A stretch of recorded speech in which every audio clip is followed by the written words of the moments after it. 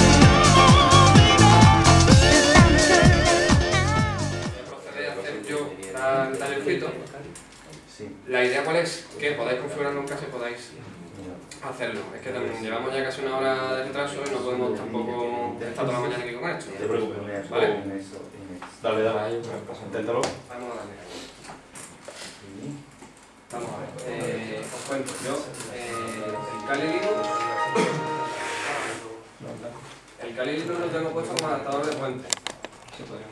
¿Vale? Es decir, estoy conectado al router. El Windows XP 1 es el que tiene las dos red.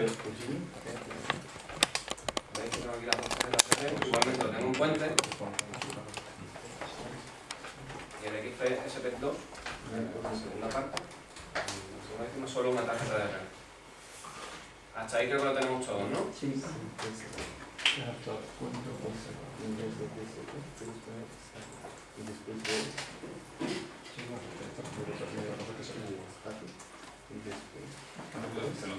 Tampoco va a funcionar el taller. No funciona. Sí, sí, ¿qué pasa? Perdón, no quería también En fin, bueno, añadir una tarjeta de red al XP, vale, vamos, configurarle la IP a la... sabemos hacerlo, ¿no? Tenemos que ir al inicio, panel de control, en las conexiones de red, y aquí tenemos las dos tarjetas. Botón derecho, propiedades, en protocolos de TCP/IP, y ya le ponemos aquí la información fija. Hasta ahí bien, ¿no? ¿Eso lo hemos hecho todos? ¿Por qué no puedes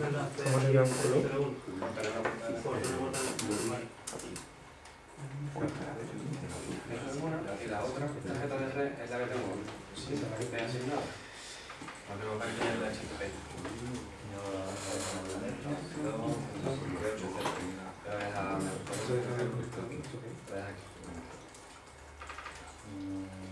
Y en el otro PC solo tenemos una tarjeta de red No sé con por la qué Linux. puedo todo.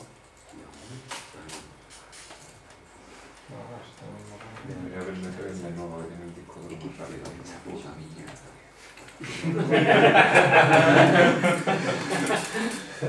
In English, please.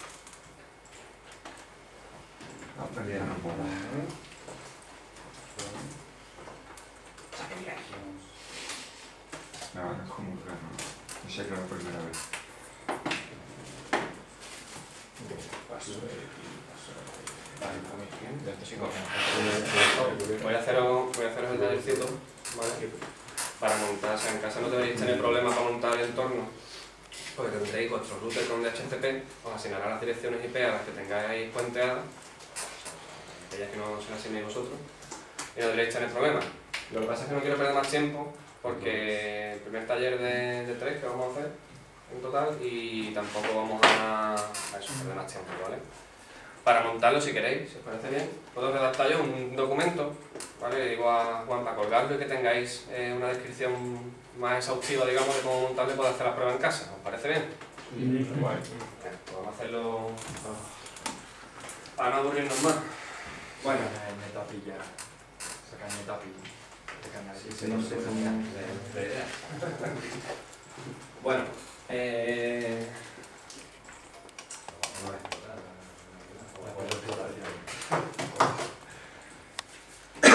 Bueno, pues el, el escenario es este que tenemos aquí, ¿vale? Lo hemos dicho. Tenemos un atacante que tiene acceso a una máquina, pero no a una segunda máquina que está en otra subred. Y la que está en medio eh, tiene acceso a las dos. ¿Vale? Eh, como te muestro por ping, ¿vale? yo tengo acceso aquí a la 192, 168, eh, 1, 157, 157, como podemos ver aquí. No sabe mucho, pero... ¿Cuál es tu cosa? En la 157. ¿Veis que me responde el pin? Sin problema. Sin embargo, a la 10, 0, 2, 15 no me responde bien. No tengo acceso. Y el objetivo es atacar a la 10, 0, 2, 15. Bien, lo primero que vamos a hacer es explotar, o sea, me voy a saltar la fase de reconocimiento. Se supone que primero, eh, bien, bueno, podemos infectar a la primera víctima por medio de un exploit eh, que le enviemos por correo, PDF, aprovechando una vulnerabilidad de Java del, del navegador, en fin, hay muchas posibilidades. Eh, pero claro, antes hay que hacer una pequeña investigación, o sea, se llama fase de descubrimiento. Eh, pero todo eso no me salta, yo voy a pasar directamente a lo que es la, chicha. Ya asumimos, que ya tenemos conocimiento pleno de lo que es el escenario y tenemos muy claro lo que queremos atacar. Así pues, lo primero que vamos a hacer es a- arrancar el Metasploit, para ello ponemos la, la orden msf console, tarda un poquito en arrancar, y nos devolverá la shell propia de, de Metasploit. Es un framework, antes de nada, lo, lo digo, es un framework que eh, sirve para eh, explotar vulnerabilidades. ¿Y qué es una vulnerabilidad? Una vulnerabilidad no es más que un fallo eh, de programación en un, software que permite alterar el comportamiento de este software. Es decir, eh, bien, tenemos cargado.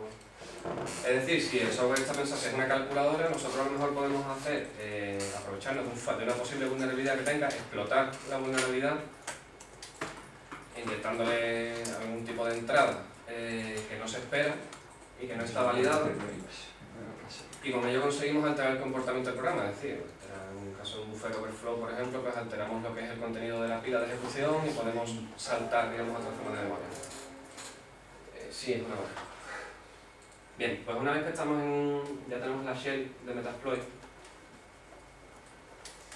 pues lo que vamos a hacer, o sea, sabemos la dirección IP de nuestra víctima, sabemos que tenemos acceso, digamos, por red a ella, y sabemos que corre un Windows XP SP2, Service Path 2, que es vulnerable a una, a un, o sea, tiene una vulnerabilidad conocida, bastante crítica, eh, que es la MS08067. Básicamente es un fallo en el protocolo Samba que si le, se le envía un, un paquete mal formado y eh, permite obtener una shell, bueno, eso es- no es cierto como tal, hay que explicarlo un poquito más.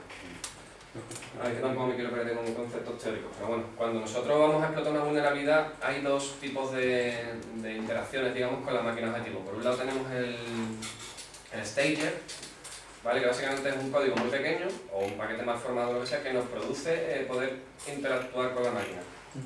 ¿vale? En general eso suele ser pequeño. Después está el stage. El, en- el stage es la propia funcionalidad que nosotros le metemos a... Cuando explotamos la vulnerabilidad con el stager, eso nos permite después eh, ejecutar código nuestro propio, es el stage. bueno, me voy a callar ya, vámonos a- al lío. Una vez que estamos en Metasploit, eh, tenemos que, eh, o sea, esto tiene un montón de, de posibilidades y tiene un montón de módulos. En este caso vamos utilizar módulos de explotación directamente, por lo que hemos dicho, ¿no? Ya se supone que conocemos el. Módulos de explotación pues tienen 1249 posibilidades. Sabemos que vamos a atacar un Windows, vamos a reducir las posibilidades. El protocolo es Samba, y aquí vemos la, las distintos exploits que tenemos disponibles para para atacar este, este protocolo. En este caso vamos a elegir este de aquí, el Metapi. No, este no es. MS08, M67. ¿Veis que ha cambiado el prompt? Ya no es MSF, sino ya estamos en el contexto de explotación, ¿vale? Y hemos seleccionado este exploit, el MS08063 Limpia un. Bien, eh, digamos que claro, eh, hay tantísimos exploits que cada uno se comporta de una manera muy distinta a la hora de, de poder ejecutarlo. Para saber de qué va esto, pues tenemos el show options. Tenemos show options en la consola y bueno, tenemos ahí la- las opciones a, a rellenar. Vemos que tenemos rhost, nos explica aquí, es la dirección IP del objetivo. ¿Vale? Es obligatorio. El puerto, que en este caso es el puerto de, de Samba, ¿vale? Eh, podríamos comprobar con un NMAP, por ejemplo, si tiene el puerto abierto y tal. No, en principio lo tiene abierto, porque la víctima un XP a pelo. Y bueno, eso ya es otro. No sé exactamente. Pero bueno, la, la idea es el rhost, no el, el exploit, tenemos que indicar la, la dirección objetivo. La dirección de nuestro objetivo. Sabemos que la dirección del objetivo es esta primera. 192.168.1.157 es la dirección eh, que nosotros podemos alcanzar, dado que la 10.016 no la alcanzamos. Así pues, eh, tenemos que ponerle set rhost, vamos a establecer el parámetro rhost a la dirección 192.168.1.157. ¿Vale? Nos indica rhost flecha tal. Si le volvemos a show options, pues ya lo tiene establecido. Y ahora eh, os explico. Eh, lo que os he comentado antes de Stager y Stage. El Stager es el paquete mal formado que va a aprovecharse de la vulnerabilidad de Samba. ¿vale? Es el que nos va a permitir ejecutar código. Y el Stage, lo que es el protocolo load, es decir, la, carga que vamos a decirle a a la víctima que ejecute a través del exploit, es un meterpreter. Meterpreter es una shell avanzada. Es más que obtener un, un C2.bar y vamos a, a interactuar con la máquina. Ahora, para ejecutar el exploit, dado que este no necesita interacción con el usuario, sino que directamente eh, le lanzamos el paquete mal formado y ya nos devuelve el stage, le definimos exploit y ya está. Bien, ya tenemos la shell. Como veis no tiene tampoco mucho cuento, por lo que acabo de decir. En este caso, sí, eh, veis que tenemos aquí la shell metalpreter y estamos dentro de la, de la máquina objetivo. Vamos a ver. Por ejemplo, si damos a help, tenemos aquí todas las opciones que tenemos. ¿Vale? Hashdown, esta, esta es muy buena. ¿Vale? Que existen en caso de que queramos hacer elevación de privilegio, podemos acceder a la webcam, podemos hacer capturas del escritorio, podemos hacer, en fin. Para, para que veáis que efectivamente estamos dentro de la, de la máquina, podéis escribir screenshot ¿vale? Y me acaba de guardar una captura de pantalla del objetivo en, en el directorio home de, del usuario de Kali. Vamos a verla.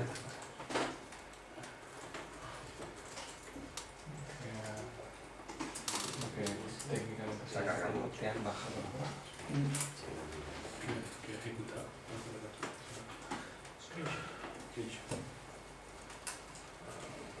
Tiene sentido. ¿Veis? Es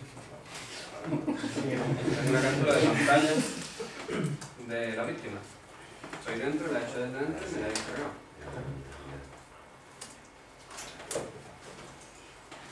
No tiene mucho cuento el tema de la exploración.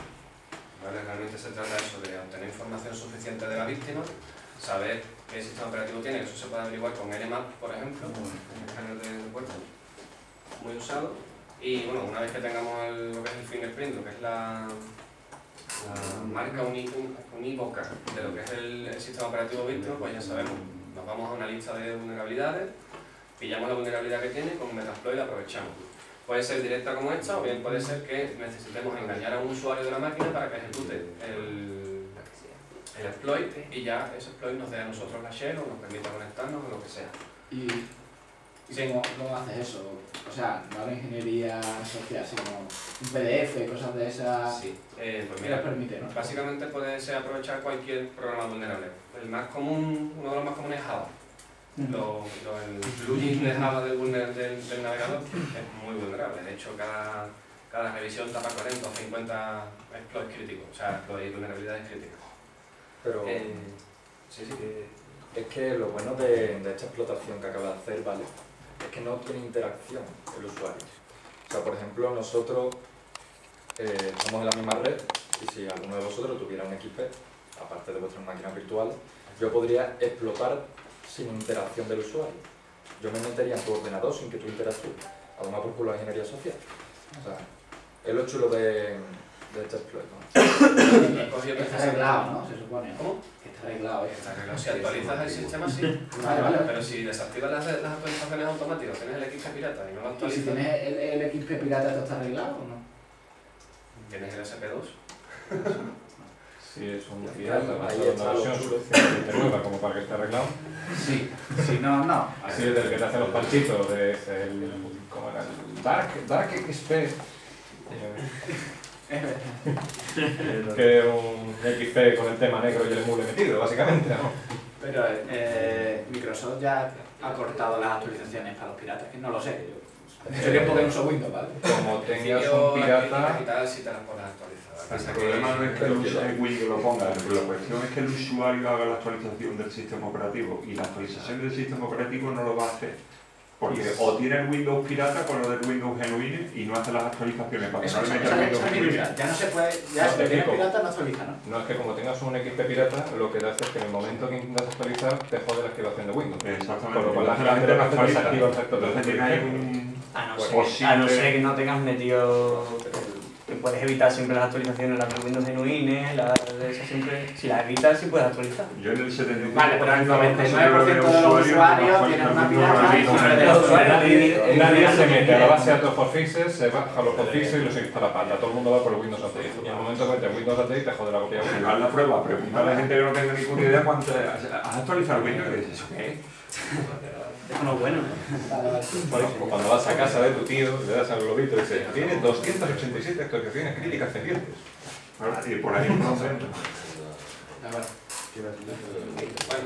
Eh, me comenta por aquí este hombre, Jorge, que lo, su- lo suyo sería poner la webcam, pero también hay, como veis ahí, webcam list, webcam snap, webcam stream, podemos ver la webcam en directo. Luego que por qué ponemos piso a la webcam. Eso. ¿Qué friki eres? Hola, NSA. Por cierto, ahí exploit, vale, este esto lo he explotado directamente con este hombre, lo guapo es que no necesita interacción con el usuario, pero si os engaño a cualquiera y utilizáis Mac, Mac también tiene vulnerabilidades y exploits. Y Linux no se libra tampoco. No, claro.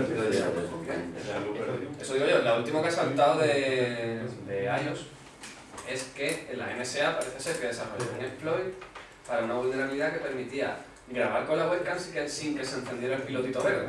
Con cual, mira con lo que hacemos con el. No, y una cosa más graciosa. Los exploits para, para Android, ¿vale? O para los sistemas móviles, Symbian, cualquiera, todos tenemos una cámara puesta y por delante y por detrás.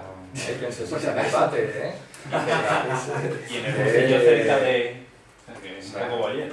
Ahí está también la cosa curiosa. Y, y otra duda, eh, ¿todos los exploits te permiten tener este intérprete o es que este exploit es... No, es como lo que he comentado antes, depende del stage, del stage que, que tú elijas. ¿vale? Hay algunos exploits que no te permiten meter interprete, sino que te dan una shell y para contar, una shell es Windows System sentido. Sí, pero eso puede hacer... Eh, depende. De la capacidad que tenga el, de proporcionar una cosa u otra. Ten en cuenta que esto no es más que código inyectado en la máquina. Pero tienes copias de eso y Ah, vale. backup. Y habrá, y habrá veces que puedas tener uno así de, y otras veces que no. Hay veces que a lo mejor el exploit te permite un buffer de, yo qué sé, 20 caracteres. Pues ahí, ahí en ese caso lo que hago es, si la máquina víctima tiene el netcat instalado, que si es Linux suele tenerlo, pues lo que hago es le hago una shell con el netcat, yo ya entro y ya pues entonces a ver qué se puede hacer. Ese es el problema, que por ejemplo ahora mismo si se le va la conexión perdemos totalmente ya la explotación. Entonces tenemos que abrir un backdoor para antes de que se le vaya la, la explotación. Le antes he hablado, ¿vale? De los payloads. El meterprete es un payload.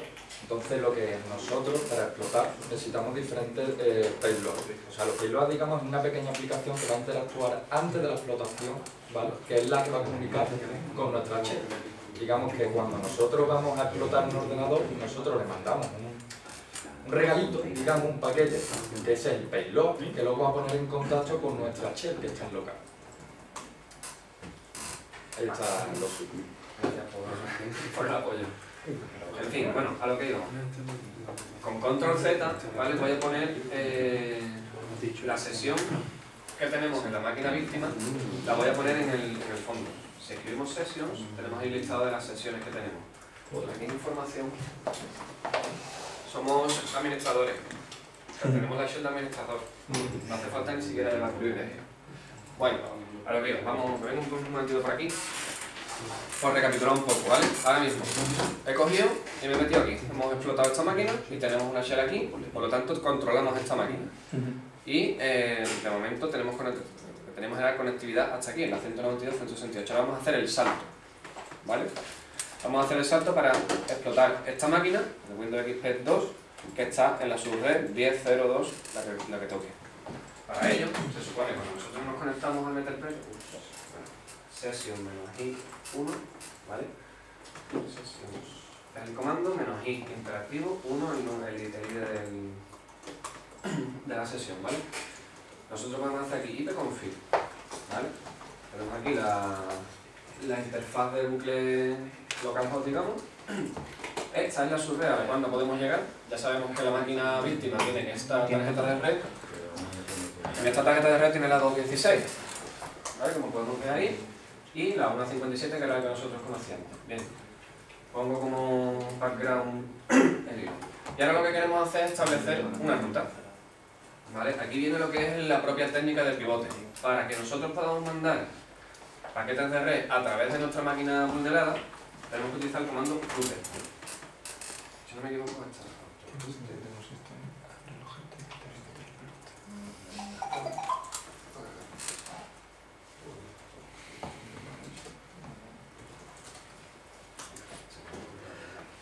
Pues nada, el comando router.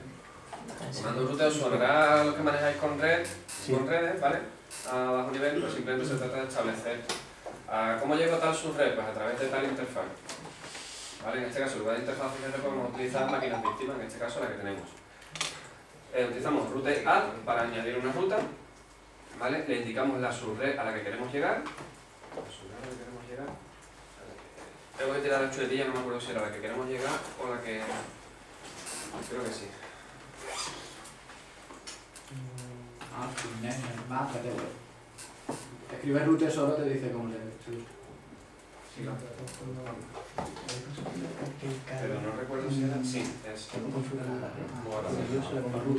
Cualquier niñato descargado gratis que se puede ver un tutorial de YouTube de cómo realizar tu equipo si no lo tienes asegurado. Aquí. Aquí. Sí, sí, sí, aquí de YouTube. Aquí. Aquí de el cibercafé de... Vale, el comando que tenemos que cumplir, ¿vale? Router, añadimos ruta hasta la, hasta la subred. 10020, porque es subred, la máscara de subred la hemos pillado del IP confidente 255.0.0, y este 1 es el ID de la sesión. que tenemos abierta de Meterpreter. Podemos tener muchas sesiones, muchas máquinas vulneradas a la vez, pero en este caso nos mantiene por la máquina vulnerada 1. Le damos ruta añadida, ¿vale? y ahora ya eh, podemos hacer eh, ¿cómo se llama la explotación? Y te pasa de viernes Solidar. Ahí está, ahí es. Sí, sí, es que eso es lo jodido. Vale. Que ya no lo hacen para joder. Os pongo un poco en situación, ahora que hemos hecho el, el router, ya tenemos acceso a este subred. En la, ayer cuando preparaba la demo no conseguí explotar esta máquina desde aquí, a través de esta. No me ejecutaba lo que era el, payload. Pero sí es cierto que eh, en el, los registros aquí con NetStat me, devolvía, o sea, me indicaba que había una conexión desde aquí. Por lo cual el pivote estaba funcionando. Eh, voy a intentar eh, explotar esta máquina, ¿vale? Si lo consigo, pues, bien, aplausos fuertes, si no lo consigo, nos lo queremos. voy a utilizar el, mismo exploit, ¿vale? En el, mismo contexto. Show options. Vale, aquí tenemos el problema de que para lanzar un, exploit, tenemos aquí más opciones. ¿vale? Tenemos esta es la IP nuestra y, la, y el puerto en el cual estamos escuchando y a través del cual estamos conectados a la máquina víctima. Ahora lo que tenemos que hacer es cambiar la IP ¿vale? por la IP de la nueva víctima y aquí abrir otro puerto para tener, para poder tener dos sesiones. No podemos tener en el mismo puerto dos o más sesiones, solo podemos tener una conexión. Así pues, vamos a configurarlo, set lport eh, 4455 por ejemplo y set rhost, que es la dirección IP de la nueva víctima, 10.0.2.10.16 15. 15. Vale, si le damos a Show Options, ya tenemos aquí todo configurado y metemos los dedos, le damos a Exploit.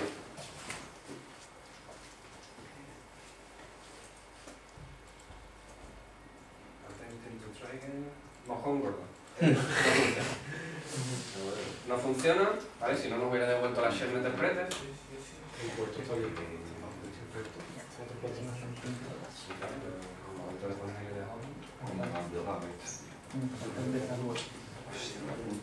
Sí,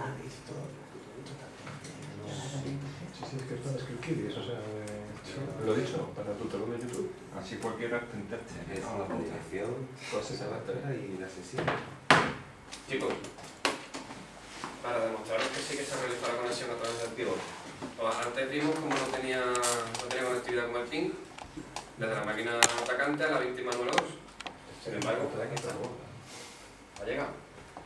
No se ha establecido la conexión, pero he llegado desde la 192, 168, 1, 156, he llegado hasta la 10, 0, 2, 15, por lo tanto el pivote ha funcionado. Lo que siento es que no haya podido... Esa, esa es la página 2 del Windows 2. Este es el Windows 2. Este es el Windows 2. El Windows 1 lo tienen ahí. Ahí, que solo tiene una tarjeta de Y esta de aquí.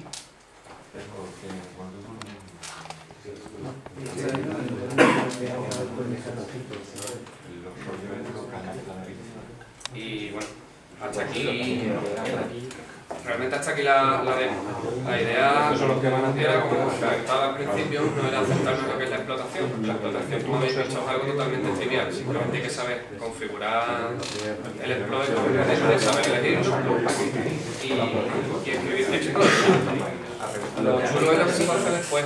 Tú una vez que ya has vulnerado una máquina, pues bien, esa máquina pues puedes elevarle privilegios, puedes tener toda la información que quieras de esa máquina, incluso puedes utilizarla para eh, escanear otra subred a la cual no llegas y ya ir a, a lo que son los objetivos jugosos. Supongamos que podemos vulnerar la- el ordenador de un currante de una, de una empresa, ¿vale?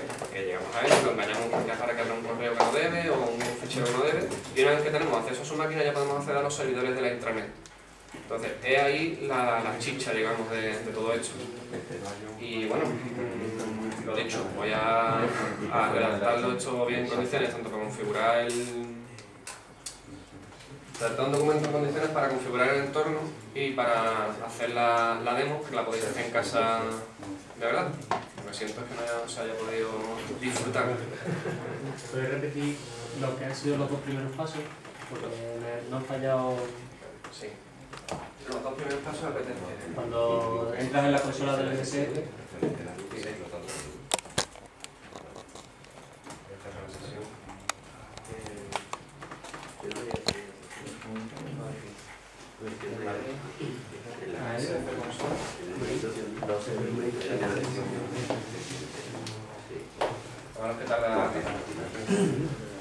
De todas maneras, respecto a, al tema de que una persona, a un usuario de tu red y esto, y después va a acceder a, la- a los servidores y demás, ahí digamos que la parte de administrar el sistema es por lo menos tener actualizado.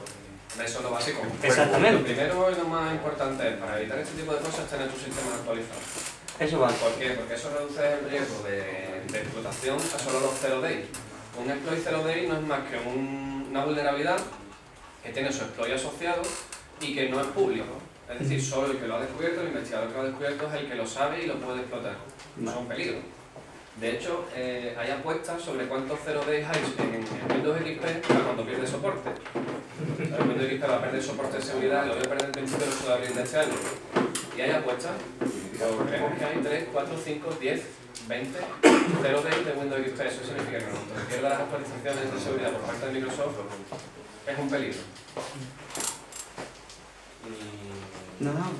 Ah, no, no, y bueno, lo que hemos dicho, eso añadirle un firewall, pero el firewall no sé si se lo va... Realmente para, para protegerte bien como administrador de sistema tienes que utilizar modelos de seguridad en profundidad. ¿Qué significa? Acceso físico, lo primero. Bueno, perdón, lo primero las políticas de seguridad. Habla con el director, con el jefe, con el que toque, que señor, aquí hay que poner una política de seguridad de verdad. No se puede hacer esto, no se puede hacer lo otro, etc. Después, acceso físico. Si tú eres el administrador, tú eres el único que tiene que poder entrar en ciertas máquinas. Gracias. Después sería lo que es la red perimetral, configurarte una buena DMZ si tienes servidores que van a- al exterior y demás. La red interna, tío, si tienes switches buenos y routers buenos, utilízalos. No me vayas a comprar una enchufadilito y cómprate uno gestionado que le puedas configurar todas las cositas. A nivel de sistema, actualizar básicamente. A nivel de aplicación, coges el látigo y le das a tus programadores para que aprendan a programar código seguro. Y en la base de datos, pues cifra las cosas que, en fin, que no deben estar al aire. Entonces, ese es el modelo de seguridad en profundidad, que si lo aplicas, lo que te dejen, pues te puedes considerar falsamente seguro. Porque nunca vas a estar seguro. Ujú. Y monitoriza también. Sí, monitorizar. Bueno, pues poner ahí cerca, muchas cosas. Bueno, eh, acabo de entrar en el Metasploit, ¿vale? En ese de consola. Lo que he hecho es básicamente ponerme en el contexto del exploit que quiero utilizar. Es use.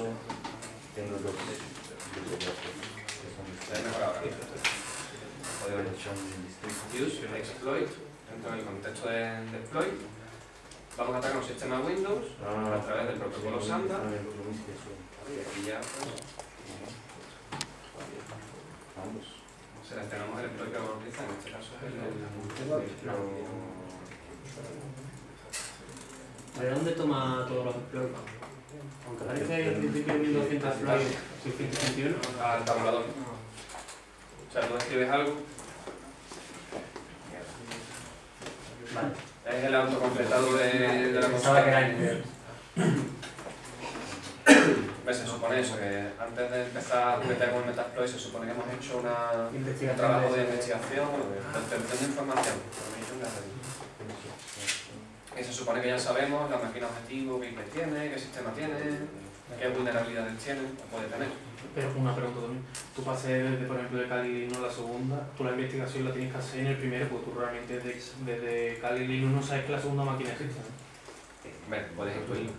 Y aparte lo que yo he hecho es un... O sea, es que me he saltado un paso pero no quería tampoco complicar. La anatomía completa sería, yo soy un Kali Linux, ¿vale? soy el atacante y tal. Yo sé que tú trabajas en tal empresa que es la que yo quiero llegar al servidor. Para hacer la, la prueba de, de pentesting, para, para coger administrador de esta empresa de menos torta. Entonces yo cojo, yo engaño a un, a un usuario de la red, a este, ¿vale? Y le digo, mira un correo, ábrete este PDF, ¿qué tal? Abre el PDF, nos devuelve la shell de Meterprete y ya podemos interactuar, ya tenemos la máquina vulnerada. Entonces, en el momento, ver, como os comenté antes, se asume, yo he asumido que ya tenemos conocimiento del escenario completo, pero si no lo tienes, a partir de aquí puedes tirar un NMAP. O sea, haces el, pivote, que es lo que es la técnica que hemos aprendido, y una vez que tienes esta máquina como pivote, la utilizas para hacer un escaneo de la red completa. Le tiras un NMAP y ya, desde los resultados a través de esta. Claro, tú desde aquí no puedes hacer un NMAP para la red interna, desde aquí sí.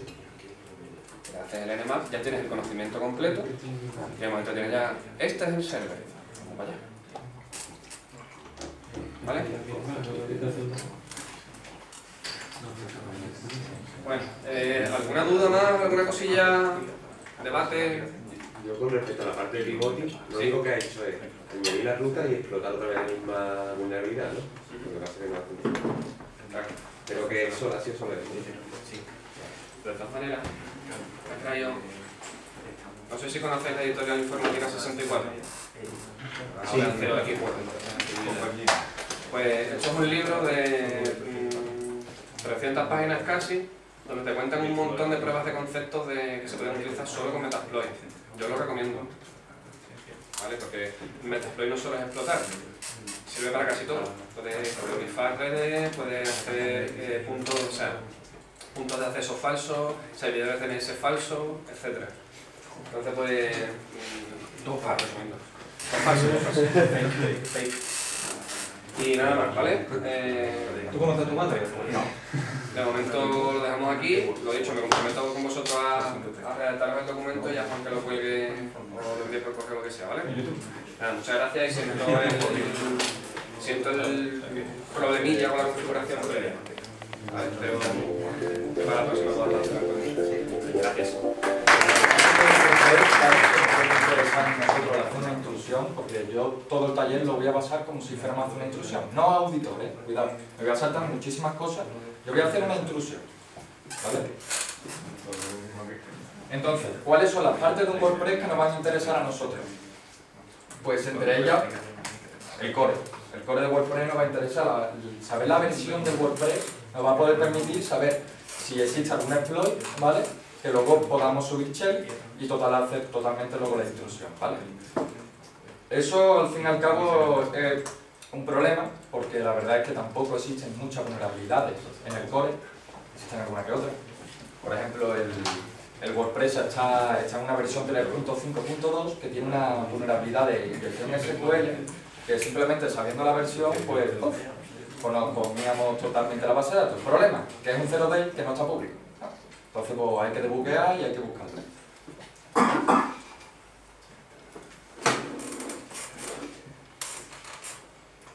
Me he equivocado.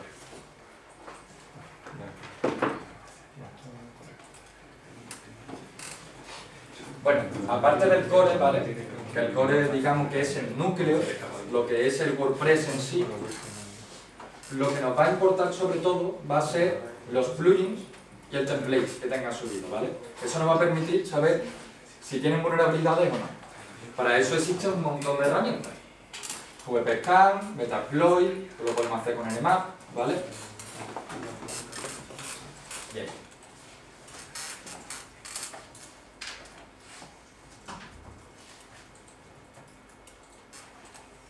Creo que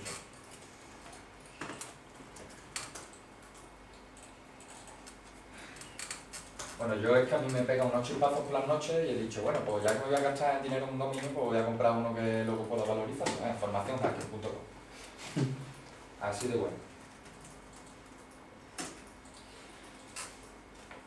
Bien, pues aquí tengo subido yo el WordPress. No lo ataquéis, por favor, porque me lo tiráis y me lo deis el taller. Bien, ¿qué cosas importantes tenemos que saber? Imaginaros que esto es un WordPress cualquiera. Cualquier WordPress. Imaginaros que el WordPress de, yo qué sé, o cualquier empresa que vamos a hacer una intrusión. No lo hagáis, pero bueno, imaginaros que es una intrusión, ¿vale? Una empresa. ¿Qué cosas importantes pensáis vosotros que nos puede interesar para hacer una intrusión en un WordPress? Los módulos. Los plugins. Pero vamos allá al proceso, digamos, de, mm, que he explicado delante, de footprinting, de fingerprinting, ¿vale? Que vamos a recoger información de esa plataforma para luego posteriormente utilizarlo en su contra, al fin y al cabo. La versión. La versión abajo. de- La versión, Servidor, Apache. vamos a basarnos en, digamos, lo que es la aplicación, ¿vale? Explotación de la aplicación, podríamos hacer escaneo de puertos, buscar vulnerabilidades en los servicios, pero vamos a basarnos simplemente en lo que es el WordPress. Bueno, pues yo lo primero que haría, ¿vale? Sería mirar qué versión tiene el WordPress, ¿no? Porque como he dicho anteriormente, si tiene una 3.5.2, podríamos terminar en 10 minutos sacándole la base de datos, publicándolo y luego eh, riéndonos. Pero bueno. O poniendo un malware o lo que sea. Vale, pues esta es la, fase, la parte más fácil de saber una versión, que nadie lo borra. El readme.html. Parece estúpido, pero sí, es algo que es que mm, cuando tú vas a hacer una intrusión en WordPress, lo primero que tienes que mirar es qué versión es. Pues muy bien, la forma más fácil, mirar readme.html. Forma de quitarlo, pues te vas al FTP y le quitas readme.html o el problema es que cada vez que actualizas el WordPress te lo va a volver a instalar. O sea, te va a volver a meter readme.html. Pero bueno, lo vuelves aquí, nos quitamos tonterías. ¿Vale? O una cosa más sencilla sería directamente desde las funciones de WordPress decirle que la 3.5 no es, sino que es la 3.6 o directamente ir al HTML y poner otra, entonces cuando alguien te vaya a hacer una intrusión, diré, ah, así que tiene la 3.8 y en verdad tiene la 3.5, Bueno, también hay formas mucho más, digamos, rudimentarias que pueden dar más error o no, que son, pues por ejemplo, en... pues en- el código fuente hay archivos, mira, por ejemplo, aquí podemos ver archivos que hacen directamente llamamiento a la versión 3.5.2, ¿vale? Que estos son los spreadsheets, ¿vale? Que, bueno, ahí de vez en cuando aparece la versión. Es algo que también podemos mirar.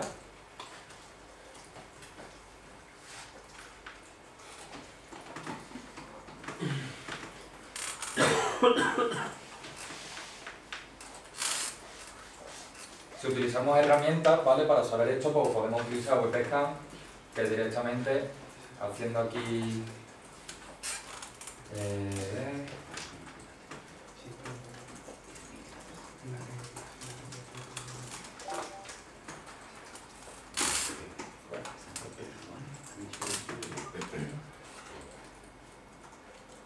Puedo aumentarlo un poco. Menos uno. Menos mayúscula. No sé nunca. un segundo. Dale Es que no sé qué está pasando. Porque lo tienes en, en el slash, ¿no? Lo tienes en una ruta.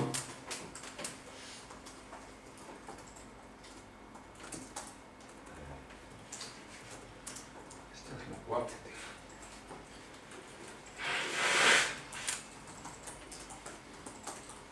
Bueno, o el WPScan ha decidido no funcionar. Ya lo veremos. Eh,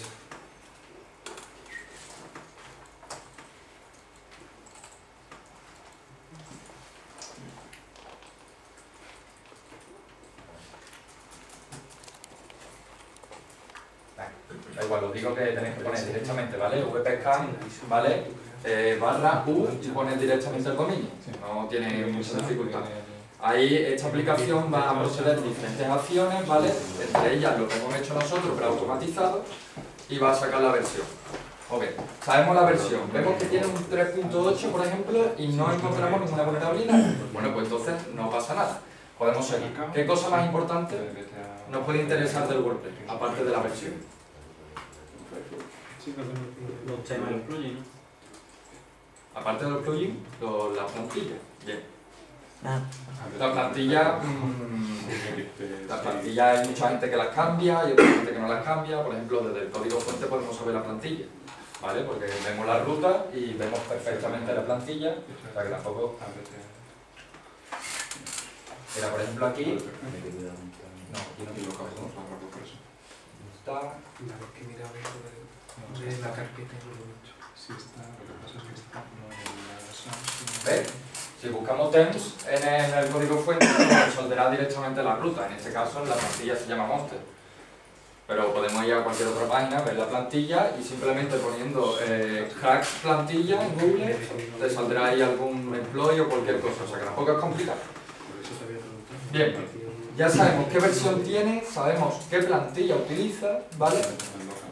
Y ahora lo que nos interesaría saber qué plugins utiliza. Vale, yo soy un atacante.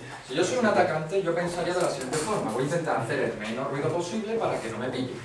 Si yo utilizo WebScan, utilizo Metasploit, utilizo Nmap, que tienen todo algún módulo para hacer escaneo de plugin, eso hace un montón de ruido. A mí no me interesa hacer eso, sinceramente. Hombre, que lo podemos hacer. Que si directamente ponemos aquí WebScan, que si decide funcionar. Es que tienes que ponerle lo de slash WordPress. Es que antes no lo había puesto. Ah, oye, sí. Ese sacan una camiseta. Sí, pero. Ole.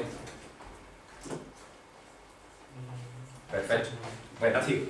¿Qué has ido? Aquí. La tercera. falta el cañón de aire comprimido, ¿no?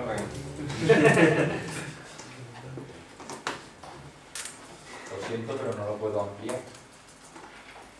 Puedes bajar la resolución.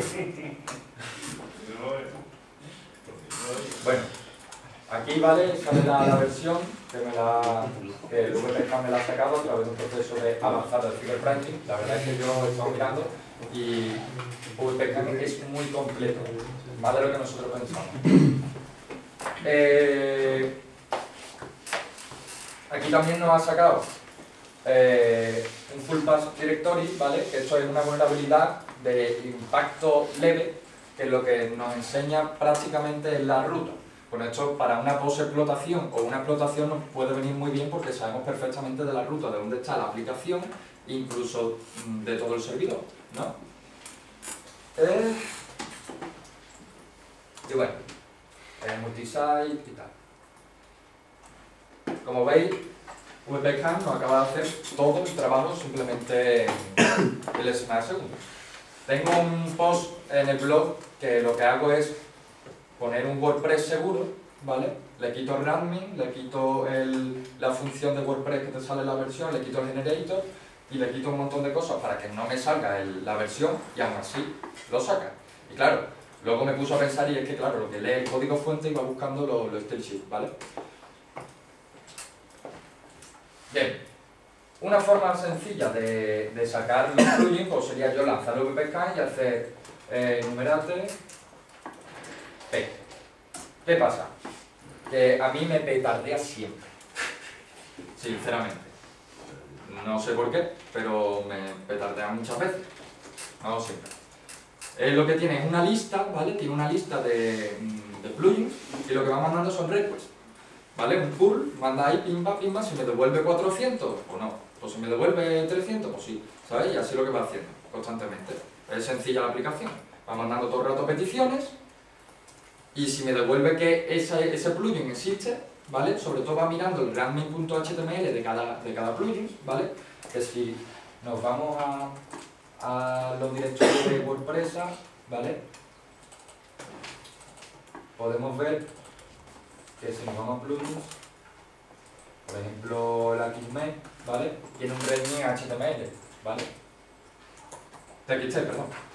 Eh, entonces esta aplicación lo único que vamos mirando son todos readme.txt, aparte también otro tipo de estructuras que pueden tener los diferentes plugins, y si me devuelve que sí, ¿vale? Entonces pues te digo que lo tiene. ¿Qué pasa? Esto es, yo, cuando voy a fortificar un WordPress, ¿qué puedo hacer para que esto dé falso positivo? Añadir que se hace falso. Por ejemplo.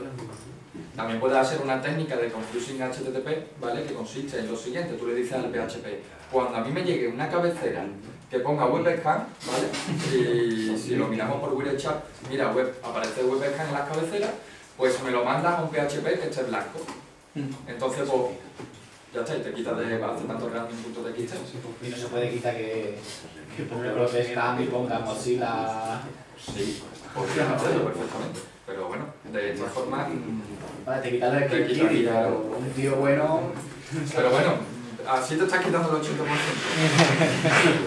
Y te estás quitando a los malayos o no, indonesios, lo que me están atacando ahora, los indonesios que le Bueno, que como estáis los viendo-. El VPScan está ahora mismo lanzando peticiones, ¿vale? Y me está saliendo la lista de plugins que tiene WordPress. Yo la verdad es que ninguno de estos plugins los conozco. O sea, estos no aparecen en WordPress. ¿Por qué está dando falsos positivos? Pues, pues no lo sé. O la verdad que es petardeo. Pero bueno, la cuestión, a lo que voy. ¿Por qué es importante hacerlo manual y no hacerlo automático? Porque esto está dejando un montón de rastros. Esto está ya, si yo fuera el webmaster, ahora mismo me empezaría a salir de que, oye, aquí me están atacando. ¿Vale? Entonces a mí no me interesa. Yo, yo, si soy un intruso tengo que ser más silencioso, tengo que ser un ninja. Tengo que llegar ahí, meterle el malware y irme y ahí no ha, no ha pasado absolutamente nada. Bien. Entonces, voy a quitar esto ya. ¿Vale? ¿Cómo se puede averiguar fácilmente, aunque sea un poquito rudimentario, eh, los plugins? Pues bueno, se pueden hacer de diferentes formas. Si sabes mucho de programación, con Python te puedes hacer un pequeño script que mire el código fuente, te descargue todo el código fuente, haga un VP y te mire la ruta que aparezca plugins. Ah, Ya está, tan sencillo como eso.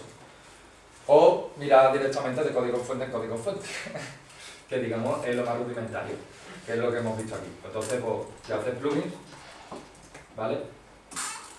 Te va a salir aquí que yo tengo el level 4 de Store, eh, Store Strong, eh, el vídeo HTML5 ta ta ta, ta ta ta. Bueno, esta forma es rudimentaria, o sea, pero bueno, es más interesante hacerlo así manual, mirando el código fuente, que utilizar un, un sistema automático. Si fuera un auditor, no.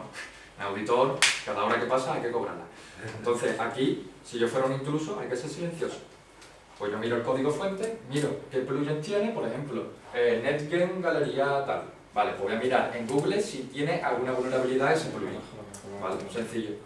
Bueno, vamos a quitar todo ya este proceso de footprinting, ¿vale? Y vamos a terminar ya con solo averiguar qué usuarios hay en el, en el WordPress, porque imaginaros que yo estoy ahí y no encuentro ninguna vulnerabilidad en el WordPress y ya lo único que me descan, me de- eh, lo único que puedo hacer ya es un brute force, ¿vale? O simplemente voy a hacer un brute force masivo a toda la peña, ¿sabes? Y bueno, pues me interesa sacar qué usuarios tiene eh, ese WordPress. O bueno, se puede hacer automáticamente y manualmente. No sé. Por eso porque no entraron y que subieron el archivo. Sobre todo no tienen los proyectos. Tengo aquí un post en mi blog de... Permite que se Era ejecute auditoría. Determinadas carpetas que solamente de subida.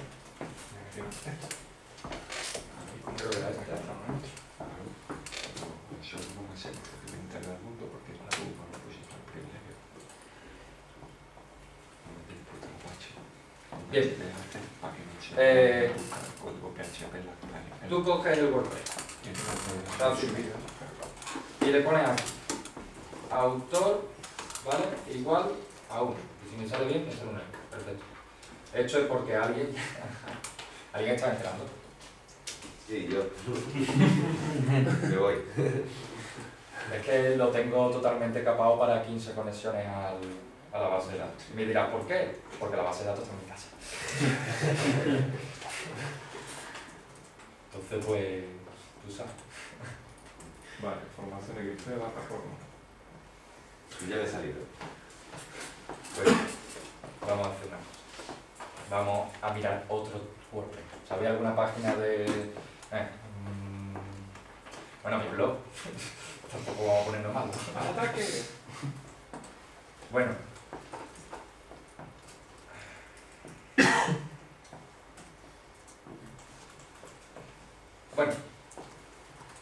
Un segundo. Ah, vale. Si yo pongo autor, ¿vale? En vez de uno que me he equivocado, ahí pones el nombre. En este caso, como yo no tengo ningún usuario que se llame admin, vamos a buscar algún cliente vuestro. eh. Cabrón. Eh, aquí hay un, un archivo, ¿vale? Aquí en estos documentos vamos nosotros publicando documentos totalmente gratuitos sobre explotación de plugin, explotación del core, explotación de plantilla. Vamos a ir poniendo documentos para que la gente aprenda y nosotros aprendamos de todos. A la derecha aparece el, WordPress Lab, ¿vale? Que WordPress Lab es que estamos trabajando, que al fin y al cabo es un WordPress que nosotros vamos incluyendo los plugins vulnerables para luego hacer unas pruebas de concepto, vamos, lo que se llama un laboratorio. ¿Qué URL es esa? La de. Eh, la URL de esto es wordpressa.quantica14.com, ¿vale? Eh, ahí aparece el archivo plugin que está escrito por mi compañero Juanma Y aquí veis, por cierto, se lo quiero dedicar, que es que esto lo hicimos en, en la WordCamp y tuvimos una faena enorme, se nos rompió el ordenador justamente allí. Bueno. Entonces, bueno, se lo quiero dedicar porque él ha trabajado también en esto y va a trabajar en esto. Y bueno, un detallito. Bien, estamos, que vamos a hacer una introducción en el WordPress, ¿vale? Tenemos el usuario, el usuario es admin. Tenemos la versión, tenemos la plantilla. Pues ahora lo que nos interesa saber son qué plugins tienen, ¿no? ¿Qué plugins tienen? Hemos dicho anteriormente que el código fuente podemos sacar ahí los plugins. Imaginaros que averiguamos que tiene el plugin que es Shopping Cart 8.1.14. ¿vale? ¿Qué tiene este plugin? Que es un plugin e-commerce, ¿vale? Para poner tu carrito de compra, que además es muy delicado, este plugin. ¿Por qué? Tenemos una vulnerabilidad que nos va a permitir descargarnos la base de datos por la cara, la de Trace, ¿vale? Y, en esa base de datos, pues esta hora no tendría que estar aventado.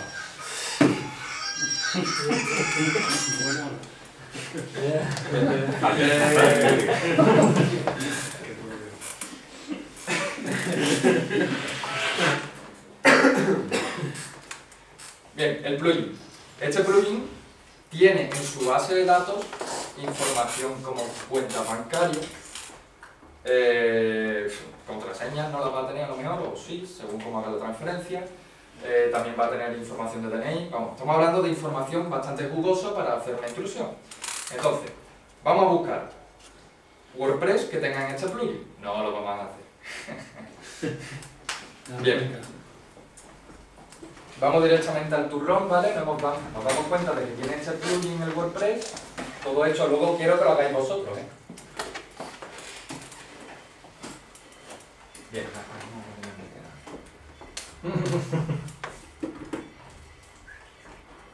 Podéis descargar este documento, de hecho podéis hacerlo ahora y mirándolo a la misma vez que lo hago yo. Aquí tenéis una descripción, la verdad, que perfecta por. Donde te explica la descripción del código, cómo se ha hecho la auditoría del código y cómo se ha encontrado esa vulnerabilidad. Como dice aquí, el Shopping Cart es un plugin que dota al CMS WordPress de una plataforma e-commerce con la que montar una tienda online. Punto y se acabó. Como he explicado anteriormente. En esta, ¿vale? Aparecen cuatro archivos PHP, que es el backup, el export out, no sé qué, el subscriptor, nada, otros archivos ¿vale? que nos van a interesar porque uno de ellos es vulnerable. Explica aquí, ta, ta, ta, Bien, ¿por qué es vulnerable esta aplicación? Esta variable no filtra. Tan sencillo como eso. No es filtrada. Y además de no ser filtrada, es que nosotros si hacemos una, una consulta ahí, si ahí tiene que, sal, tiene que salir siempre verdadero. ¿Vale? Eso básicamente, para los que no sepan PHP, o lo que está diciendo es que si sale verdadero, ta ta ta, hazme tal consulta. Muy bien. Eso a nosotros como pentester nos da. Nosotros lo que nos interesa básicamente, ¿vale? Aquí, que se recoge la variable a través de un post, ¿vale? Es que si nosotros, por ejemplo, ahí ponemos 1 o 1 es igual a 1, a tomar por culo. Es verdadero y nos descarga la base de datos.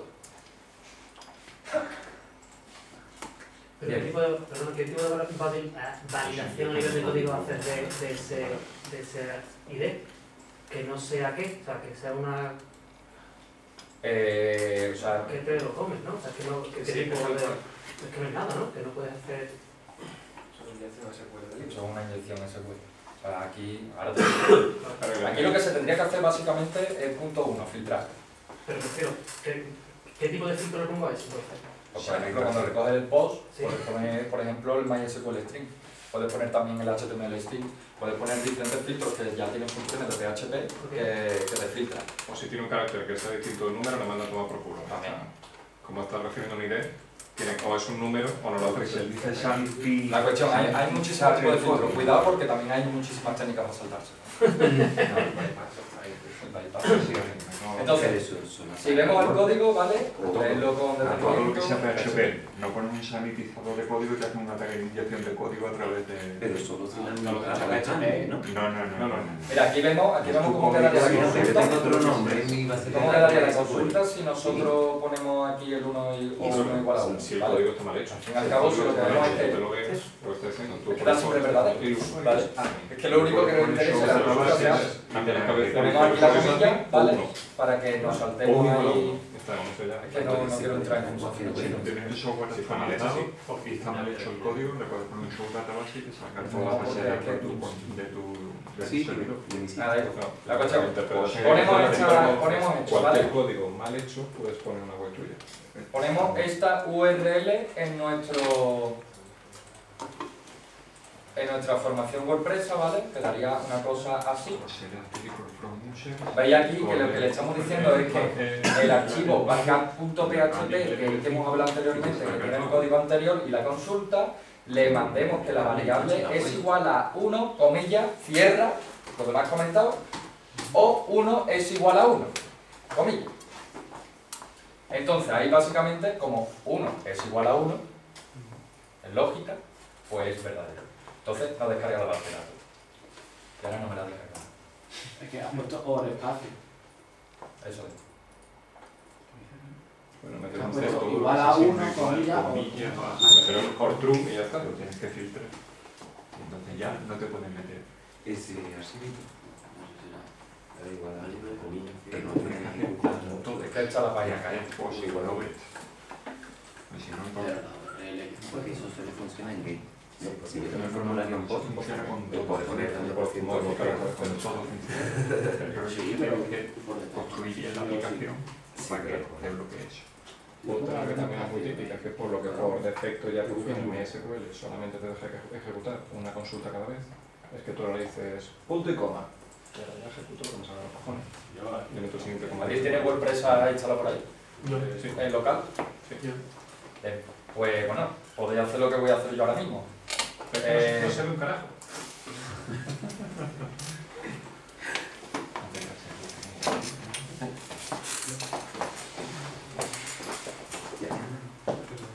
A ver, sencillamente, no lo hagáis, no lo hagáis en formación hacking, hacerlo en local, ¿vale? Porque es que estoy intentando que a ver si el servidor se vuelve otra vez.